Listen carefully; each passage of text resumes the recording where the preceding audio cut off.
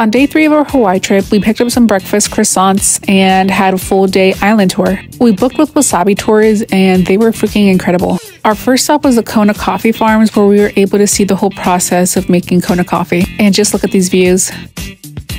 After coffee, we stopped at Punalu'u for their famous malasadas, and they were delicious. Then, right across the street, we stopped at the Punalu'u Black Sand Beach, and we were able to see these turtles.